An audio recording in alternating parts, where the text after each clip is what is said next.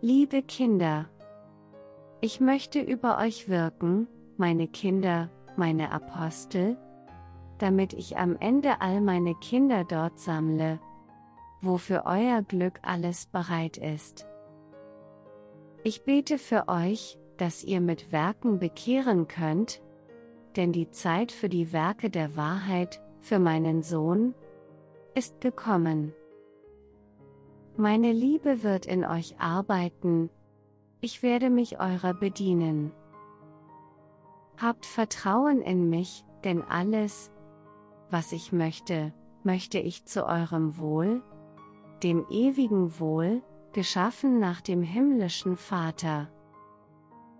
Ihr, meine Kinder, meine Apostel, ihr lebt das irdische Leben in Gemeinschaft mit meinen Kindern, die die Liebe meines Sohnes nicht kennengelernt haben, die mich nicht Mutter nennen. Aber fürchtet euch nicht, die Wahrheit zu bezeugen. Wenn ihr euch nicht fürchtet und mutig Zeugnis abgebt, wird die Wahrheit wundersam siegen, aber merkt euch, in der Liebe ist die Kraft.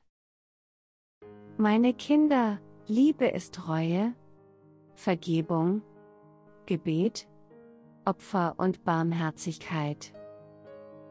Wenn ihr wisst, wie man liebt, werdet ihr mit Werken bekehren, ihr werdet ermöglichen, dass das Licht meines Sohnes in die Seelen dringt.